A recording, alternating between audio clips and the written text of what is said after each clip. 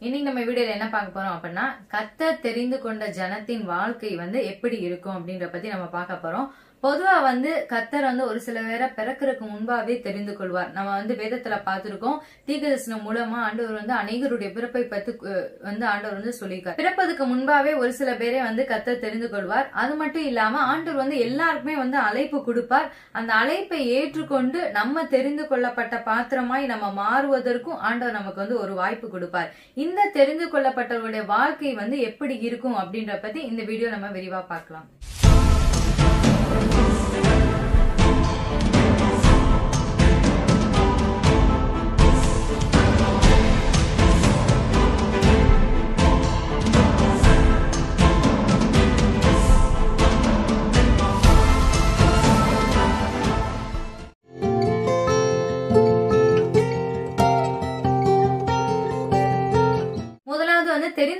தெரிந்து வந்து எப்படி இருப்பாங்க அப்படின்னு பாத்தீங்கன்னா ஆண்டவர் மேல அதிகமா தாகமா இருப்பாங்க. ஆண்டவருடைய சமூகத்து மேல ஒரு பெரிய ஈர்ப்பு வந்து அவங்களுக்கு எப்பயுமே வந்துட்டே இருக்கும். ஒருவேளை ஏதோ ஒரு சூழ்நிலையினால கொஞ்ச காலம் ஆண்டவர் விட்டு விலகி இருந்தாலும் ஆண்டவர்கிட்ட நம்ம வந்து எப்படியாவது திரும்ப போயிடணும் ஆண்டோடைய சமூகத்துல வந்து எப்படியாவது இன்னும் அதிகமா ஜெபிக்கணும் இன்னும் வேதத்தை வந்து அதிகமா படிக்கணும் இன்னும் ஆண்டோட சத்தத்தை வந்து அதிகமா கேட்கணும் ஆண்டோருக்காக நம்ம ஏதாவது செய்யணும் ஆண்டவருடைய அடிச்சூடுகளை வந்து பின்பற்றணும் இந்த மாதிரி வந்து தாகம் வந்து அவங்களுக்குள்ள வந்து எப்பயுமே இருந்து கொண்டே இருக்கும். அதுக்கடுத்து பாத்தீங்க அப்படின்னா அவங்களுடைய வாழ்க்கை வந்து எப்போதுமே தரிசனங்கள் நிறைந்த வாழ்க்கையா இருக்கும். அதாவது வந்து நமக்கு பிடிக்குதோ பிடிக்கலையோ நம்ம விரும்பினாலும் சரி விரும்பாவிட்டாலும் சரி ஆண்டவர் வந்து அந்த தரிசனங்களை வந்து நிச்சயமா அந்த தெரிந்து கொள்ளப்பட்டவர்களுடைய வாழ்க்கையில வந்து கண்டிப்பா வந்து நிறைவேற்றுவார். நம்ம உதாரணத்துக்கு வந்து மோசையை வந்து எடுத்துக்கலாம். மோசை எப்படின்னா பிறக்கும் போதே கத்தரால் தெரிந்து கொள்ளப்பட்ட ஒரு மனுஷர் தான். அதனாலதான் மோசை என்ன பண்ணார்னா பிறக்கும் போதே ஒரு பெரிய கஷ்ட கால சூழ்நிலையிலே பிறக்கிறார். ஏன்னா சத்ருவுக்கு வந்து தெரியும் நம்ம எப்பயுமே வந்து நம்மளுடைய ஃபியூச்சர் வந்து ரொம்ப பிரைட்டா இருந்துச்சு அப்படின்னா நம்ம சிறு பிராயத்திலே நம்ம அழிக்கணும் அப்படின்ற மாதிரி சத்துரு வந்து நிறைய முயற்சி பண்ணுவான். நீங்க உதாரணத்துக்கு இயேசு இயேசுவை கூட நீங்க எடுத்துக்கலாம். அந்த டைமையும் வந்து சிறு பிள்ளைகள்லாம் அழிக்கணும் அப்படின்ற மாதிரி ஒரு பிளான் வந்து வரும். அதே மாதிரி மோசிய காலத்திலயுமே இருந்துச்சு. ஏன்னா இவர் வந்து ஆண்டவரால் தெரிந்து கொள்ளப்பட்ட ஒரு பாத்திரமா இருந்தாரு. அதுக்கப்புறம் என்ன ஆச்சு அப்படின்னா கொஞ்சம் வளர்ந்து வர நேரத்துல இவராவே முயற்சி பண்றாரு. நம்ம எப்படியாவது நம்ம ஜனங்களை வந்து ஏன்னா இவருக்குள்ள ஒரு தாகம் வந்து இருந்துட்டே இருக்கு. நம்ம ஜனங்களை வந்து எப்படியாவது ரச்சிக்கணும் அப்படின்னு முயற்சி பண்றாரு. ஆனா அது வந்து வாய்க்காமல் போயிது.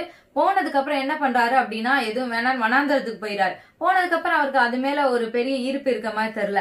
அதுக்கப்புறம் ஆண்டவரே அழைக்கிறாரு. நீங்க வந்து வா நான் வந்து உன்னை கொண்டு போய் நான் வந்து இஸ்ரேல் ஜனங்களை ரச்சிப்பேன் அப்படின்னு சொல்றாரு. ஆனா மோசே வந்து சொல்றாரு யாத்ராமம் நாலு பத்து டு பன்னெண்டு நம்ம படிச்சோம் அப்படின்னா நிறைய சாகுபாக் சொல்றாரு ஆண்டவரே எனக்கு வேண்டாம் ஆண்டவரே எனக்கு வந்து வாயெல்லாம் ரொம்ப திக்குது நான் வந்து போக வேண்டாம். நீங்க வந்து உங்களுக்கு பிடிச்ச வேற யாரையாவது அனுப்புங்க அப்படின்ற மாதிரி சொல்றாரு. அதாவது அவருக்கு வந்து அது மேல விருப்பம் இல்லாத மாதிரியே சொல்றாரு. ஆனா ஆண்டவர் நம்மளுடைய வாழ்க்கையில ஒரு தரிசனம் கொடுத்துட்டாரு அப்படின்னா தெரிந்து கொள்ளப்பட்டவர்களுடைய வாழ்க்கையில நிச்சயமா அது நிறைவேறியே ஆகும். அது எவ்வளவு வருடங்கள் கழிச்சு அப்படின்னாலும் பரவாயில்ல அது நிச்சயமா நிறைவேறும் அது நமக்கு பிடிச்சாலும் சரி பிடிக்காட்டி சரி நிச்சயமா தேவன் வந்து நிறைவேற்றுவார். அப்படிதான் மோசையுடைய வாழ்க்கையில வந்து கிட்டத்தட்ட எண்பது வருடங்கள் கழிச்சு வந்து அவருடைய தரிசனத்தை வந்து நிறைவேற்றினார். ஆனா பேதருக்கு எப்படி அப்படின்னு பாத்தீங்கன்னா தேவன் வந்து அழைப்பு கொடுக்கிறார். அந்த அழைப்பை ஏற்றுக்கொண்டு அவர் வருகிறார். அழைப்பை ஏற்றுக்கொண்டதுனால அவர் வந்து தெரிந்து கொள்ளப்பட்ட பாத்திரமாய் மாறுறாரு. அதனால தேவன் வந்து அவர் அவர் மேல அந்த சபையை வந்து கெட்டுறாரு. இப்ப நாங்க வந்து ரட்சிக்கப்பட்ட புதுசுல பாத்தீங்க அப்படின்னா எங்களுக்கு ஆண்டவர் வந்து ஒரு வாக்குத்தத்தம் கொடுத்தாரு. நான் உங்களை வாழாக்காமல் தலையாக்குவேன். அப்ப வந்து எங்களுக்கு வந்து புரியவே இல்லை. ஆண்டவர் எப்படி நமக்கு ஏன்னா அப்ப உள்ள சூழ்நிலைகள்லாம் பார்த்தா எங்களை தலையாக்குற மாதிரி ஆண்டவர் எந்த ஒரு சூழ்நிலையுமே இல்ல. எல்லா பக்கமே வந்து ஒரு அடைக்கப்பட்ட வாசல் தான். எல்லா பக்கமே ஒரு ஆசீர்வாத குறைவு தான். நம்மளால இதுக்கு மேல மீண்டு வர முடியுமா அப்படின்ற ஒரு சூழ்நிலைமா தான் இருந்துச்சு. ஆனா தேவன் வந்து அற்புதமா வந்து ஒவ்வொரு பகுதியிலையும் எங்களை வந்து தலை தலையாக்கிட்டே வந்தாரு. அதுக்கடுத்து பாத்தீங்கன்னா ஒரு முறை ஆண்டவர் வந்து நாங்க ஃபேமிலி ப்ரேயர் பண்ணப்ப சொன்னாரு நான் வந்து காணாமற் போன ஆட்டை மந்தையில் கொண்டு வர உங்களை வந்து பயன்படுத்துவேன் அப்படின்னு சொன்னார். அப்ப வந்து எங்களுக்கு ஊழியத்து மேல எங்களை ஆண்டவர் ஊழியத்துல எடுத்து பயன்படுத்துவாருன்னு தெரியாது. ஊழியத்து மேல எங்களுக்கு ஒரு எதுவுமே இல்ல. ஆனா வந்து நாங்க வந்து அந்த அந்த வார்த்தைகள்லாம் நாங்கள் நோட்ல எழுதி வச்சிருக்கோம். இப்ப பார்த்தாதான் தெரியுது ஆண்டவர் அப்பவே வந்து எங்களுக்கு ஊழியத்தை குறித்து தரிசனங்கள்லாம் தந்திருக்காரு அப்படின்னு. அப்ப எவ்வளவு வருடங்கள் கழித்துனாலும் சரி தெரிந்து கொள்ளப்பட்டவர்களுடைய வாழ்க்கையில அந்த தரிசனங்கள் வந்து நிச்சயமா நிறைவேறும். அதுக்கடுத்து பாத்தீங்க அப்படின்னா தெரிந்து கொள்ளப்பட்டவர்களுடைய வாழ்க்கையில ஆண்டவர் வந்து ஒவ்வொரு காலகட்டத்திலும் ஏதாவது ஒரு பாடங்களை வந்து கற்றுக் கொடுத்து கொண்டே இருப்பார். ஏன்னா பிற்காலத்துல வந்து அவங்க அந்த அந்த பாடங்கள்லாம் வந்து அவங்களுடைய வாழ்க்கையில வந்து உபயோகமா இருக்கும் அப்படின்றக்காக. உதாரணத்துக்கு நம்ம மோசையவே எடுத்துக்கலாம். ஆரம்பத்துல அவர் வந்து எகிப்துல இருக்கிறப்ப இஸ்ரேல் ஜனங்கள் மேல அவருக்கு வந்து ஒரு அதிகாரம் கிடையாது. அவர் தலைமையான பொறுப்புல எதுலயுமே கிடையாது. ஆனா அவருக்கு வந்து இஸ்ரேல் ஜனங்களை வந்து அவங்க குடும்பப்படுத்துறாங்க அப்படின்னே அதிகமா வந்து கோவம் வரும். அப்புறம் ஒருத்தருக்கு ஒருத்தர் இஸ்ரேல் சண்டை போடுறாங்களே அப்படின்னு சொல்லி அதிகமா வந்து கோவப்பட்டு தான் வந்து கொல்லுவாரு. அந்த எகிப்தியனை வந்து கொல்லுவாரு. ஆனா வந்து இந்த கேரக்டர் இருந்தா இஸ்ரேல் ஜனங்கள் மேல ஒரு நாள் இவனை வந்து நம்ம அதிகாரியா வைக்க முடியாது அப்படின்னு வந்து கர்த்தர் வந்து புரிஞ்சு கொண்டார் அதுக்கு அடுத்து அதனாலதான் வந்து அந்த வனாந்திரமான ஒரு வாழ்க்கை வந்து அவருடைய வாழ்க்கையில வந்தது. நாற்பது வருஷம். அதுல வந்து இந்த மந்தையை மேய்க்கிற வேலை தான் வந்து அவருக்கு. அப்ப வந்து எப்படிலாம் பொறுமையா இருக்கணுமோ எவ்வளவு சாந்தமா இருக்கணுமோ அந்த மாதிரி குணங்களை வந்து கற்றுக் கொடுத்தார் அதுக்கப்புறம் அவருக்கு தலைமை பொறுப்பு இஸ்ரேல் ஜனங்களுக்கு மேல வந்ததுக்கு அப்புறம் லட்சக்கணக்கான ஜனங்களை நடத்துறப்ப சாந்த குணமா நடத்தும்படி ஆண்டவரே சாட்சி கொடுத்திருக்காரு. பூமி மேல எந்த ஒரு மனுஷனும் மோசையை போல சாந்த குணம் உள்ளவனா இல்ல அப்படின்னு சொல்லி ஆண்டவரே சாட்சி கொடுக்குற அளவுக்கு மிகுந்த ஒரு பொறுமையை ஒரு சாந்த குணத்தையும் வந்து கத்தர் கட்டளையிட்டார்.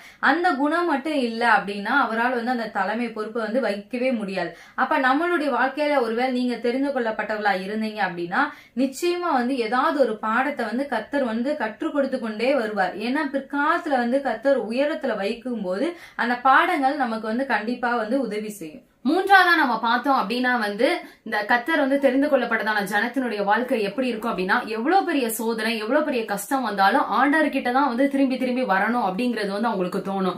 பொதுவா நம்ம பார்த்தோம் அப்படின்னா நம்ம வேதத்துல நீதிமொழிகள் இருபத்தி நாலு பதினாறுல கூட படிக்கிறோம். நீதிமான் ஏழு தரம் விழுந்தாலும் எழுந்திருப்பான். எவ்வளவு பெரிய எவ்வளவு டைம் நம்ம விழுந்து விழுந்து விழுந்து விழுந்து நம்ம எந்திரிச்சாலும் எவ்வளவு கஷ்டங்கள் வந்தாலும் திருப்பி ஆண்டவர்கிட்ட தான் நம்ம ஓடி வரணும் அப்படிங்கிற ஒரு ஒரு இருது இது வந்து தோணிட்டே இருக்கும். ஆண்டவர் விட்டு தூசிக்கிறதோ இல்ல ஆண்டவர் விட்டு விலகி இது என்னப்பா அப்படின்னு சொல்லி விலகி விட்டு அப்படியே வந்து அப்படியே பின்மாறி போறதோ இடறி போறதோ அப்படி இருக்காது. என்னதான் இருந்தாலும் பரவாயில்ல. இது ஆண்டவர் வந்து ஆண்டவர் தான் என் கூட இருக்கிறாரு. ஆண்டவர் பரவாயில்ல. என்ன சோதனை வந்தாலும் ஆண்டவர் என்னை பார்த்துப்பார் அப்படின்னு சொல்லி நம்ம ஆண்டவர் கிட்ட தான் திருப்பி வர்றதுக்கு நம்மளுக்கு தோணும். நம்ம நகோமியோடைய வாழ்க்கையை கூட நம்ம எடுத்துக்கலாம். அவங்க அந்த சாப்டர் நம்ம படிக்கும் போது ரொம்ப நல்லா இருக்கும். நகோமி வந்து இங்க கஷ்டம் இருக்கு அப்படின்னு சொல்லி தான் அவங்க அந்த தேசத்துக்கு போவாங்க.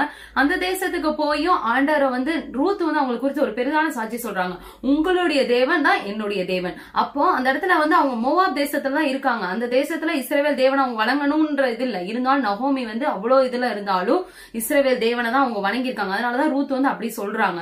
அப்புறம் வந்து ஆண்டர் வந்து இஸ்ரேவேல் தேசத்தை வந்து ஆண்டர் வந்து நல்லா வந்து அவங்களுக்கு வந்து ஒரு செழிப்பான கட்டளை இட்டார் அப்படின்னு சொல்லி ஆண்டர் மேல வந்து அவங்க தூசிக்கல. என்னதான் வந்து ஆண்டர் மேல வந்து அவங்களுக்கு வந்து கொஞ்சம் கசப்பு இருந்தாலும் இருந்தாலும் வந்து அவங்க திருப்பி ரிட்டர்ன் வரும்போதே என்ன வந்து ரொம்ப என்ன வந்து கசப்பா ஆண்டர் கசப்பு எனக்கு ஆண்டர் வந்து வாழ்க்கையில கட்டளை இட்டார் அப்படின்னு சொல்றாங்க. இருந்தாலும் வந்து ஒரு சோதனை காலத்துல கசப்பு இருந்தாலும் ஆண்டவர் கிட்ட தான் திருப்பி வரணும்னு ஆண்டருடைய தேசத்துக்கு தான் அவங்க திருப்பி ஓடி வந்தாங்க. ஆண்டருடைய தேசத்துல வந்து ஆண்டவர் எல்லாவற்றையும் சந்திச்சிட்டார் அப்படின்னு சொன்னாங்க என்னுடைய வாழ்க்கைக்கு ஆண்டவர் ஏதாச்சும் ஒரு வெளிச்சம் தருவார். நம்ம ஆண்டருடைய தேசத்துக்கு நம்ம திருப்பி போனோம்னா நம்ம வாழ்க்கையும் பிரகாசமா மாறும் அப்படிங்கிற ஒரு நம்பிக்கையோட அவங்க அந்த தேசத்துக்கு திரும்பி வந்தனாலதான் ஆண்டவர் வந்து அந்த தேசத்துல வந்து அவங்களையும் வந்து ஒரு பெரிதா ஆசிர்வச்சார். அதே மாதிரிதான் வந்து தெரிந்து கொள்ளப்பட்டவங்களுடைய வாழ்க்கையும் இருக்கும். என்னதான் கஷ்டம் இருந்தாலும் சரி என்னதான் சோதனை நம்மளுடைய வாழ்க்கையில வந்தாலும் சரி ஆண்டவர் மேலேயே கொஞ்சம் நம்மளுக்கு வந்து துக்கம் இருக்கதான் செய்யலாம். ஏன்னா கஷ்டம் இருக்கும்போது நம்ம வந்து நம்ம எப்பயுமே சிரிச்சுட்டே இருப்போம்னு சொல்ல முடியாது. கொஞ்சம் துக்கம் இருக்கதான் செய்யலாம். இருந்தாலும் ஆண்டவர்கிட்ட தான் நம்ம ஓடி வருவோமே தவிர இடறி போய் ஆண்டவரை தூசிக்கிறதோ அந்த மாதிரி விஷயங்கள்லாம் நம்ம செய்ய மாட்டோம். இன்னொரு ஒரு உதாரணம் நம்ம பார்த்தோம் அப்படின்னா வந்து நம்ம ஒரு சின்ன பிள்ளைங்களே கூட அவங்க தாய் வந்து அடிச்சிட்டாங்க அப்படின்னா தாய் வந்து அடிச்சிட்டாங்க அப்படின்னா அவங்க அழுதுட்டே இருந்தாலும் தாய்கிட்டே தான் இருப்பாங்க. இது- அடிச்சிட்டாங்க அப்படின்னு சொல்லி தாயை விட்டு விலகியோ அங்கிட்ட இங்கிட்ட எனக்கு தாயே பிடிக்கல அப்படின்லாம் சொல்ல மாட்டாங்க. என்னதான் இருந்தாலும் திருப்பி தாய்கிட்டே பக்கத்திலே தான் உட்காந்துக்கிட்டே இருப்பாங்க. அந்த மாதிரி தான். ஒரு சில நேரம் கஷ்டங்கள் ஆண்டவர் நம்முடைய வாழ்க்கைக்கு அனுபவிச்சாலும் நம்ம திருப்பியும் ஆண்டர்கிட்ட போகணும்னு தான் நம்மளுக்கு தோணுமே தவிர ஆண்டர் விட்டு விலகணும்னு நம்மளுக்கு தோணாது. அதுக்கடுத்து நம்ம பார்த்தோம் அப்படின்னா தெரிந்து கொள்ளப்பட்டவருடைய வாழ்க்கையில சத்துருக்களுடைய ஆதிக்கம் வந்து அதிகமா இருக்கும். நம்ம நினைக்கலாம் யாருக்கு தான் வந்து சத்துருக்கள் இல்லை? எல்லாருடைய வாழ்க்கையிலுமே சத்துருக்கள் இருக்கிறாங்க அப்படின்னா ஆனா வேதத்திலேயே நம்ம படிச்சோம்னா தெரியும். அதாவது எல்லாருக்கும் இருக்க சத்துருக்களை விட இந்த மாதிரி தெரிந்து கொள்ளப்பட்டவர்களுடைய வாழ்க்கையில தாவிதாகட்டும் ஆகட்டும் யோசேப் ஆகட்டும் மோசே ஆகட்டும் இந்த இயேசு ஆகட்டும் தெரிந்து கொள்ளப்பட்டவருடைய வாழ்க்கையில வந்து அதிகப்படியான சத்துருக்களுடைய ஆதிக்கத்தை வந்து நம்ம பார்க்கலாம். அவங்களுடைய சூழ்ச்சிகள் வந்து நம்ம பார்க்கலாம். ஏன் இப்படி நடக்குது அப்படின்னா ஆண்டவர் வந்து இவங்களுடைய வாழ்க்கையில ஏதோ ஒரு திட்டத்தை வச்சிருக்காரு. அது வந்து ஒரு பெரிய திட்டமா இருக்கு அப்படின்றது பிசாஸ்க்கு வந்து நல்லா தெரியும். அதனால இந்த மாதிரி சத்துருக்களான மனிதர்களை வந்து ஏவி விட்டு பிசாஸ் வந்து இது மாதிரி அதிகப்படியான சத்துருக்களை வந்து ஏவிடும். எதுக்காக அப்படின்னா ஆண்டவருடைய திட்டம் நிறைவேறாம தடுக்கிறக்காக தான். அவர் எதுக்காக நம்மளை தெரிந்து கொண்டாரோ அந்த விஷயமே நம்மளுடைய வாழ்க்கையில் நடக்கக்கூடாது அப்படின்றக்காக நிறைய சத்துருக்களை வந்து பிசாஸ் வந்து ஏவி விடுவான். ஆனா அது எல்லாத்தையும் தாண்டி வந்து கத்தர் வந்து நிச்சயமா ஜெயத்தை தருவார். ஏன்னா நம்மளுடைய வாழ்க்கையில வந்து அந்த திட்டத்தை வந்து கண்டிப்பா நிறைவேற்றியா ஆவார் அதுதான் வந்து ஆண்டவர் வந்து நம்மளை தெரிந்து கொண்டிருக்கிறார். அடுத்ததா நம்ம பார்த்தோம் அப்படின்னா வந்து இந்த தெரிந்து கொள்ளப்பட்ட ஜனங்களுடைய வாழ்க்கையில வந்து புது புது அனுபவங்களா இருக்கும். அடுத்து என்னென்ன நடக்க போகுது அப்படிங்கறது நம்மளுக்கு தெரியாது. இருந்தாலும் ஆண்டவர் வந்து புது புது அனுபவங்கள் மூலியா புது புது வழிகள் மூலியா வந்து நம்மள நடத்துவாரு. நம்மளுடைய வாழ்க்கையே வந்து ஒரு த்ரில்லிங்கா இருக்கும். அடுத்து என்ன உண்மையாமே ஆண்டவர் வந்து சொல்லிடுவாரு. நம்ம இந்த இடத்துல இருக்கோம். உன்னோட வாழ்க்கையில இந்த தரிசனம் தான் இருக்கு அப்படின்றத சொல்லிடுவார். ஆனா சென்ட்ரல போற அந்த ரூட் வந்து நம்மளுக்கு வந்து சொல்லவே மாட்டார் ஆண்டவர். அப்படியே நம்ம சொன்னாலும் ஏன் ஆண்டவர் அப்படின்னு வந்து நம்ம கேட்போம். இதெல்லாம் வேண்டாம் அப்படின்னு நம்ம சொல்லிடுவோம். ஆனால் வந்து ஆண்டவர் எந்த வழியா நான் உன்னை கூட்டிட்டு போறேன்னு சொல்லவே மாட்டார். ஆனா சொல்லாதனால நம்மளுக்கு வந்து ஆண்டவர் கூட்டிட்டு போற வழி வந்து ஒரு சில நேரம் ஸ்ட்ரைட்டாவே நம்ம அந்த இடத்துக்கு போய் சேருவோம் அப்படின்னு சொல்ல முடியாது. ஒரு சில நேரம் மேடு இருக்கும் பள்ளம் இருக்கும் ஒரு சில நேரம் வளைவு இருக்கும். இந்த மாதிரி நிறைய வகையான த்ரில்லிங்கான ஒரு அனுபவங்கள் நம்மளுடைய வாழ்க்கையில தெரிந்து கொள்ளப்பட்ட ஜனத்தினுடைய வாழ்க்கையில வந்து இருக்கும். என்னதான் வந்து ஒரு த்ரில்லிங்கான வாழ்க்கை இருந்தாலும் என்னதான் வந்து எவ்வளவு ஒரு ஒரு கஷ்டமான ஒரு வேலை இருந்தாலும் சரி என்னதான் வந்து ஒரு மேடு பள்ளங்கள் இருந்தாலும் சரி கத் கத்தர் நம்மோட இருக்கிறாருன்ற விசுவாசம் நமக்குள்ள இருக்கனால நம்ம கண்டிப்பா அந்த தரிசனத்தை போய் நம்ம அடைஞ்சிருவோம். கடைசியா நம்ம பார்த்தோம் அப்படின்னா தெரிந்து கொள்ளப்பட்டவருடைய வாழ்க்கையில கஷ்டமான சூழ்நிலைகள் இருக்கிறப்ப நிறைய சாட்சிகள் நிறைய அற்புதங்கள் வந்து நம்மளுடைய வாழ்க்கையில வந்து நடந்து கொண்டே இருக்கும். நம்ம வந்து நினைப்போம் இப்ப இந்த வருஷம் ஃபுல்லா வந்து ஒரே பண கஷ்டமா இருக்கே அப்படின்னு சொல்லி நினைப்போம். ஆனா அந்த வருஷத்துலதான் ஆண்டவர் வந்து பணத்து மூலமா வந்து நம்மளுடைய வாழ்க்கையை நிறைய அற்புதங்கள் நிறைய சாட்சிகள் செஞ்சிருப்பாரு. இல்லாட்டா இந்த வருஷம் ஃபுல்லா ஒரே பலவீனமா இருக்கே ஒரே ஹாஸ்பிட்டலே போற மாதிரி இருக்கே அப்படின்னு நினைப்போம். ஆனா நம்ம எப்பப்பெல்லாம் வீக்கா இருப்போமோ அப்பதான் ஆண்டவர் வந்து நம்மளுடைய வாழ்க்கையில எந்த அளவுக்கு பலனா இருக்கிறார் அப்படின்றதே தெரியும். உன்னுடைய பலவீனத்தில் என் பலன் பூர்ணமாய் விளங்கும் அப்படின்னு ஆண்டவர் சொல்வார். அந்த மாதிரி வந்து எப்பயுமே நிறைய சாட்சிகள் நிறைந்த வாழ்க்கையா இருக்கும். எங்களுக்குலாம் ஒரு வருஷம் ரெண்டாயிரத்தி பதிமூணு நினைக்கிறேன். அப்ப வந்து பயங்கரமான பிரச்சனை. அந்த வருஷம் ஃபுல்லாமே பிரச்சனையா தான் இருந்துச்சு. ஆனா இப்பயும் நினைச்சு பார்த்தா அந்த வருஷம் ஃபுல்லா அதிகமான அற்புதங்கள் அடையாளங்கள் நினைச்சு பார்த்தாலே ஒவ்வொரு நாளுமே ஒவ்வொரு நாளுமே ஆண்டவர் இப்படிதான் நடத்துறாரு இவ்வளவு அற்புதம் செஞ்சாரு அப்படின்னு சொல்லி அந்த வருஷத்தை குறிச்சு நிறைய சாட்சிகள் நிறைய அற்புதங்கள் அடையாளம் சொல்லிக்கிட்டே இருக்கலாம். அந்த மாதிரி தெரிந்து கொள்ளப்பட்டவருடைய வாழ்க்கையில எவ்வளவுதான் கஷ்டங்கள் வந்தாலும் ஆண்டவர் நிறைய அற்புதங்கள் அடையாளங்கள் சாட்சிகளை வந்து ஆண்டவர் கொடுத்து கொண்டே இருப்பார். ஒருவேளை நீங்க வந்து ஆண்டவரால தெரிந்து கொள்ளப்பட்ட பாத்திரமா வந்து இருக்கலாம். இல்லாட்டினா ஆண்டவர் வந்து எல்லாருக்குமே அழைப்பு தராரு. எப்படி ஒரு மேரேஜ்னு வச்சா வந்து நமக்கு இன்விடேஷன் தராங்களோ அதே மாதிரி ஆண்டவர் வந்து நம்மள நமக்கு வந்து ஒரு அழைப்பு வந்து எல்லாருக்குமே கொடுக்குறாரு. ஆனா சில நேரம் நம்ம வேதத்துல நம்ம உண்மை படிப்போம். ஆண்டவர் வந்து திருமண இதுக்கு வந்து அழைப்பு கொடுப்பாங்க. அந்த ராஜா. ஆனா ஒவ்வொருத்தவங்க ஒவ்வொரு சாக்கு போக்கு சொல்லி வந்து வரவே மாட்டாங்க. இதே மாதிரி இன்னைக்கு வந்து அநேகர் வந்து என்னுடைய கற்பனைகள் கட்டளைகள்லாம் கை கொண்டு நீங்க வாழணும் அப்படின்னு சொல்லி அநேகருக்கு வந்து அழைப்பு கொடுக்குறாரு. இல்லன்னா எனக்காக நீங்க ஊழியம் செய்யணும். இல்ல எனக்காக நீங்க ஏதாச்சும் செய்யணும் அப்படின்னு சொல்லி எல்லாருக்குமே வந்து ஆண்டவர் வந்து அழைப்பு கொடுக்குறாரு. ஆனா ஒரு சில பேர் வந்து அந்த அழைப்பை ஏற்றுக்கொண்டு வரதே இல்ல. அப்படி ஒருவேளை நீங்க வந்து ஆண்டவருடைய அழைப்பை ஏற்றுக்கொண்டு ஆண்டோரே நமக்கா ஏதாவது நான் செய்வேன் ஆண்டோரே அப்படின்னு சொல்லி நீங்க செஞ்சீங்க அப்படின்னா நீங்களும் தெரிந்து கொள்ளப்பட்ட ஒரு பாத்திரமா தான் இருக்கீங்க. உங்களுடைய வாழ்க்கையும் நிச்சயமா இந்த மாதிரி தான் இருக்கும். ஆனா நிச்சயமா கத்தர் வந்து எந்த ஒரு கஷ்டமான சூழ்நிலை நம்மளை கைவிடவே மாட்டார். நமக்கா வைத்துக்கிற தரிசனத்தை கண்டிப்பா வந்து கத்தர் நிறைவேற்றுவார். இந்த வீடியோ உங்களுக்கு ரொம்ப பயனுள்ளதா இருந்திருக்கும் அப்படின்னு நாங்க விசுவாசிக்கிறோம். கத்தர் இந்த வீடியோ மூலமா உங்களை எல்லாத்தையும் நிச்சயமா ஆசீர்வதிப்பார். இது போல ஒரு வீடியோவோட நாங்க அடுத்த வாரத்தில் உங்களை சந்திக்கிறோம். கத்தர் உங்களை ஆசீர்வதிப்பாராக.